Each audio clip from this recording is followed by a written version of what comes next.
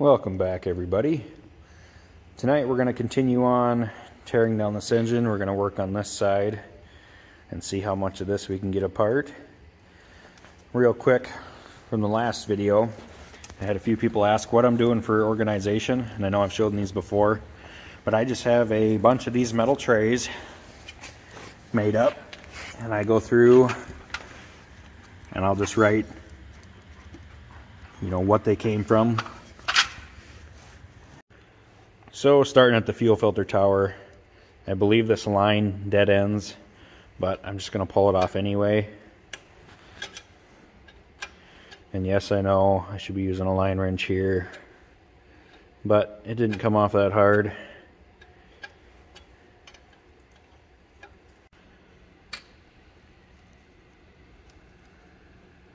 It must be attached to something down there.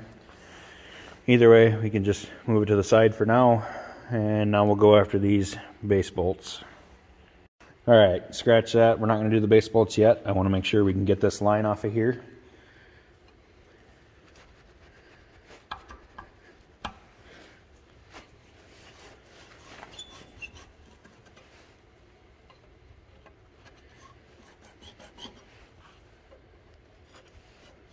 Okay, with that loose, we can try pulling the base bolts. I'm not sure if this line is going to actually want to come out of there.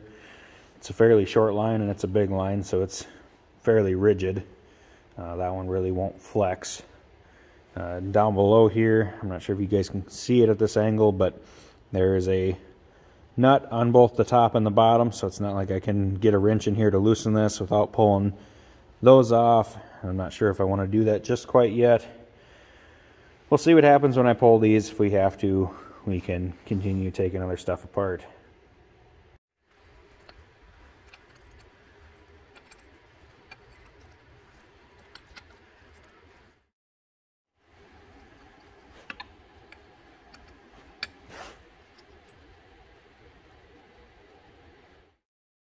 Okay, with all the bolts loose or taken out, I did have one stud that did back out here in the back corner. We'll have to get him out later. Um, I think it should come off.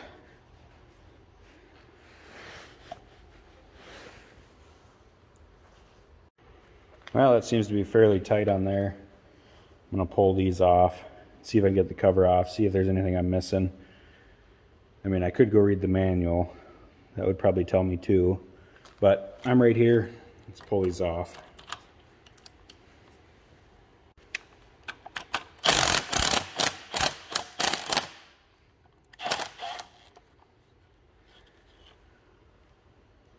Stud came with on that one.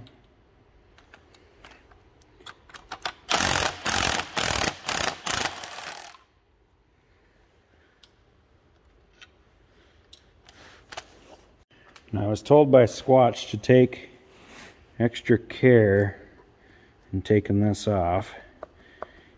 I don't remember if he said this was a phenolic or what it is, or a fiber. Either way, it's not a metal piece. It is a more or less plastic. So it's just getting just a little hung up on the studs here. I don't want to pry too hard, but just give it a little assistance so we come off square. Who knows how long it's been uh, on here. And it wants to come off, just keep working it.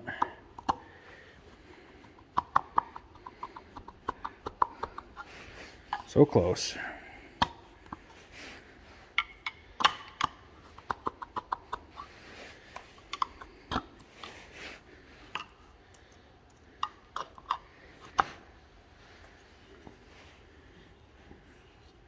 you can see it's a plastic piece just what the weather's done to it over the years versus the inside. So back over here we have a gasket. I might actually grab a scraper. Be easier to copy that one later down the road. Alright I just ran the scraper around here. Lifted it all up. And there, now I have a nice template for when we make new gaskets. So then we'll come back here and I just want to lift just a little bit here. I don't want to leave any tool marks in this plastic. We want to make sure this seals up again. I just need to help it climb off of them studs square. Would have been nice if all the studs would have backed out and then you could just lift these right off.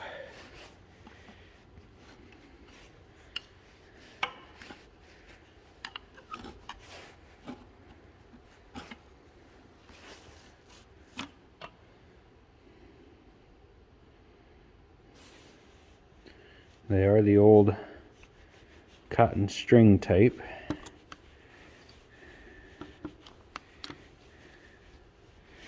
Actually for their age.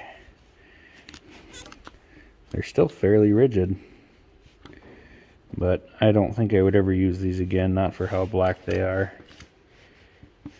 We'll find different ones or replacements. And this is why you never want to force anything.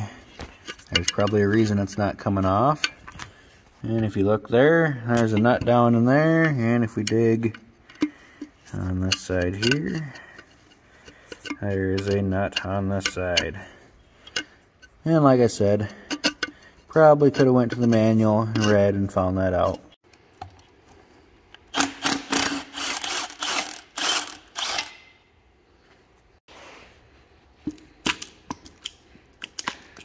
Would you look at that? Helps when you take all the bolts out. Real quick, I don't think I need to show you guys, but when I have a component like that that I had to take apart to get off. What I'll do now, just to keep everything together, I will bolt all that stuff back together. Uh, any gaskets and that put back in there. Otherwise, that stuff's bound to get lost or, you know, gaskets, they can get broken. At, you know, they're a perfect template until you break it. So it's just easier to put it back into a sub-assembly like that and then when we get around to cleaning all of this and go you know before we go back together that's when I'll break them down do component by component and then reassemble as necessary. Okay bringing you guys back up here. I know we've had this cover off before. I'm gonna take it back off now for good. Because I'm bumping the camera here trying to work around you. I believe there is a linkage in here for the governor that goes to the injection pump that we need to disconnect and it should be right there. So just before we do disconnect this here, I do want to look under a different cover.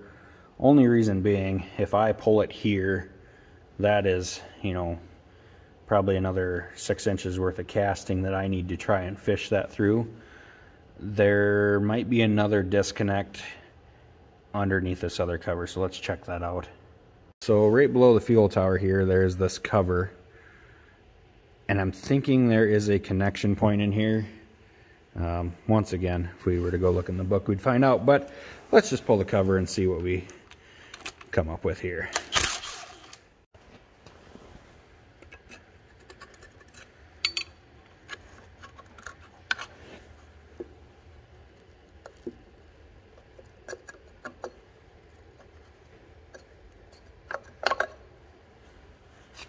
So this is exactly what I was looking for.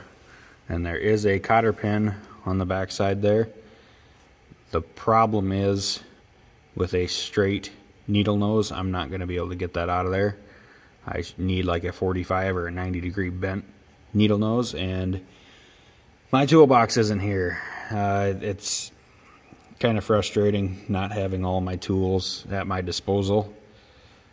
Um, I think what I'm going to do just for now is probably pull it back at the governor and then once we get it slid out I could either pull this connection point or just take it all as one.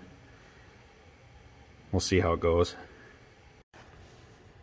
Okay guys, I feel like I'm jumping all over here, but I decided since I took this cover off, I might as well pull this and pull the fuel pump off. Just get this stuff out of the way. So I did pull these, these are all four studs. These two studs came out and those two nuts came off.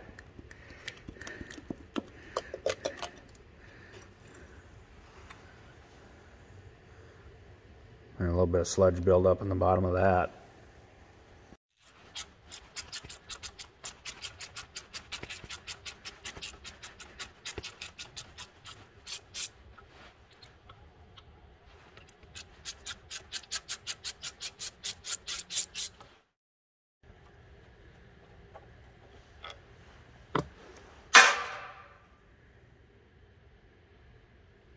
There's more of that nasty fuel.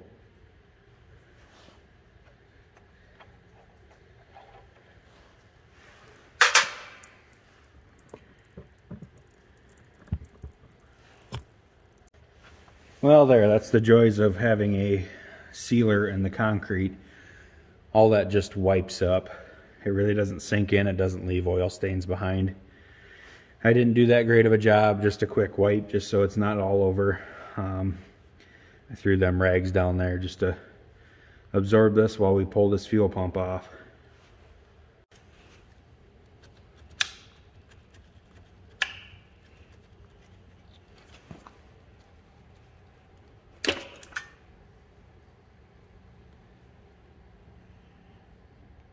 And we have more of a mess to clean up. It's alright. That's what the shop's for. So back up front here, I did pull that off of that clevis there. It's Just a cotter pin. I was able to just reach in there with my fingers and bend those back, pull that out. Um, I just put it back in here so I don't lose that. So back here behind the injection pump by the hour meter, there is a valve and that's going to be in the way of trying to move the pump back the hour meter is going to hit right away. So we need to get that out of here. And never mind. There wasn't much left of it because that turned off really, really easily. So, while I have you here, I don't think we ever did cover how many hours this thing has on it. I don't know if you read that as 8100 or as 18. Either way, it's kind of irrelevant. It wouldn't matter. This machine's going to get a complete tear down and overhaul anyway. So we're probably going to turn that back to zero.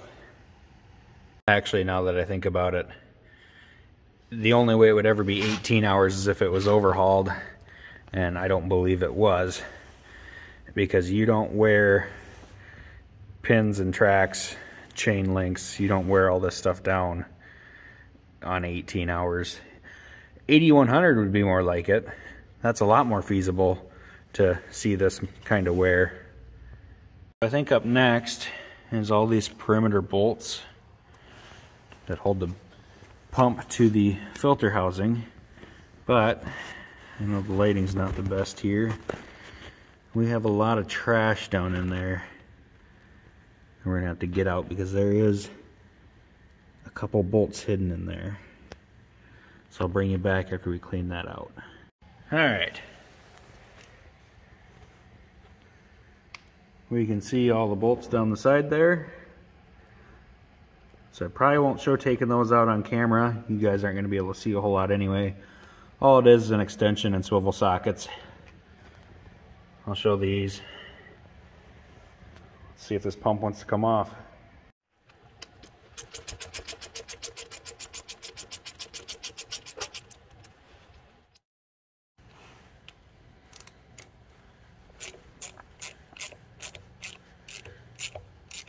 I know a few of you are probably wondering why I'm using a quarter inch ratchet, not a 3 8 right here. There's just not that much room. And yes, you could come in with a swivel socket and probably get it just fine, but this also works. Okay guys, with all the bolts removed, we're to see if it even wants to move at all. Per Squatch, these injection pumps are a lot heavier than they look. And that's on a D3400 and this is a D4400 which I believe this injection pump is bigger. Maybe they are the same size. Either way, it's going to be the same weight or possibly even heavier.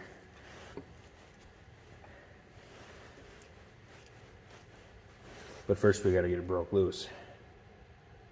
Okay, I was able to get it broke loose. All I did was come from the back, lightly under the governor with a pry bar and just lift it up on it.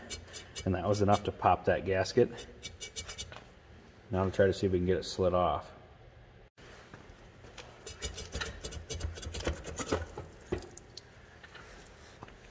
And we found some more shmoo. It looks like an oil water mixture or fuel water mixture possibly.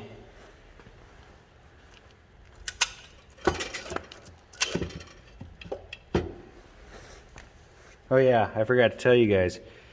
Those two studs came out of the fuel tower. So we might fight this a little longer, but I do have access to this now. So let's pull that cotter pin out of there. We'll get that out of there. We'll get these studs out. We'll go from there. Okay guys, I ended up getting the studs out over here. What I ended up doing was taking a channel locks right down the side there and just grabbing a hold of the head and just slowly wiggling them out. While I had it apart, I did take the cotter pin out of that rod. So for the governor there. So that is out. So I believe we are ready to pull an injection pump.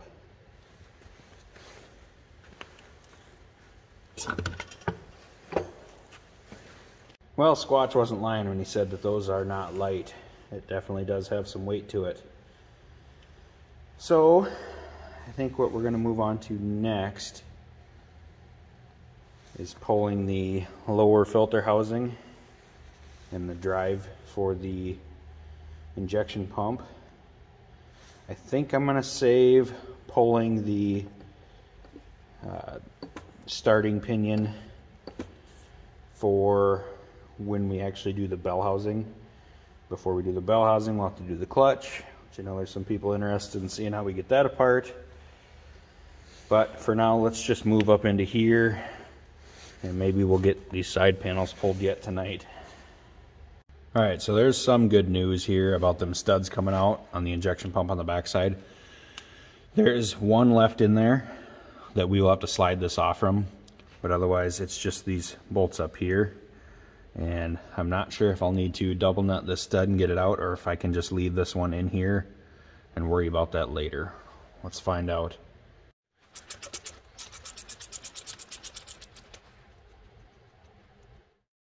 I'm just going to pull this rod out of here. There's really no reason it needs to be in here. We'll keep that with the injection pump for now.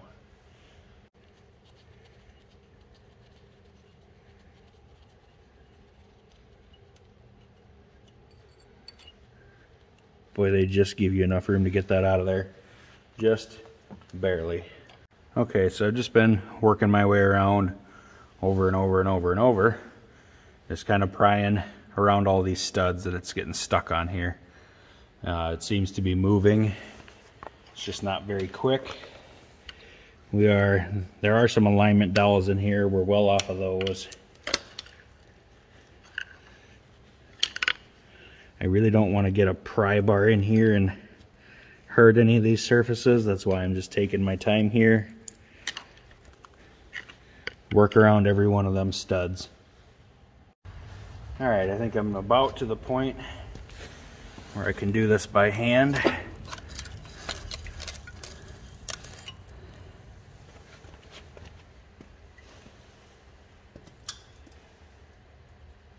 Give you guys a view this way. One thing we were looking for is any cracking going on in here. These blocks are notorious. If they're gonna crack, it's almost always behind the injection pump. I don't feel any heaving. Everything seems fairly normal, but we really won't know for sure until we get the sleeves and that out and get a look at the inside as well. But so far, compared to the pony motor, we're looking great. So just a couple notes. Um, had a couple questions in the last video about uh, the date code on this block. So this is the original tag 4G 166. It does match the rear end. And we'll go to the other side and we'll do the date code on the block. So the date code is right under here. It is hard to read. I don't know if I'll be able to get you guys in the right light to see it. But it is an M E E L. So that would be 2, 3 of 36. So it is the right and proper block for this tractor.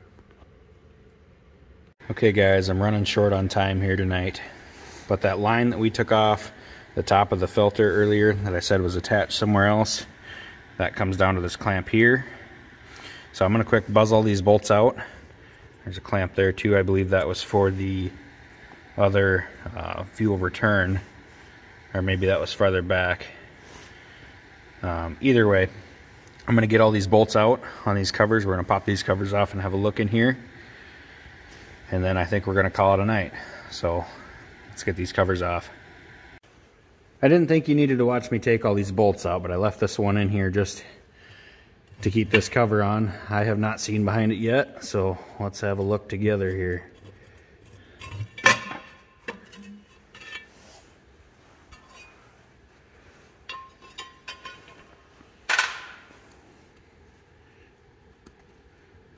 Might need a scraper or a screwdriver for that one.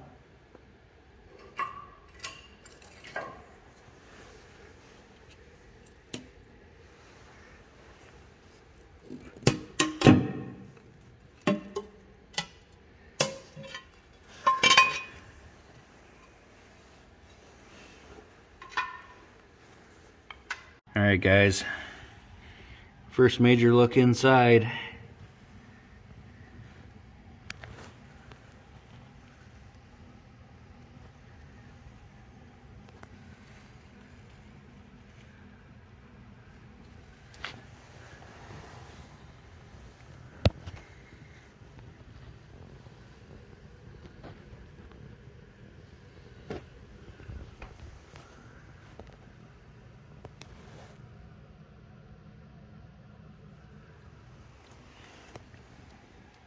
Okay, guys, I think that's going to do it for tonight. I appreciate everyone who subscribed. I'd also appreciate you hit the like button. Stick around. We still have this nastiness to take apart. And that has to come apart before we can get that bell housing off of there.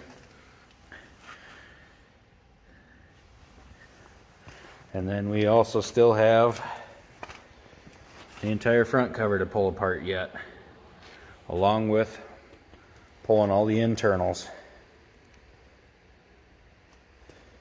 Thanks for watching, everyone. Okay, guys. I know I gave you a sneak peek on this last time. I've kind of been working a little off camera. Let's just say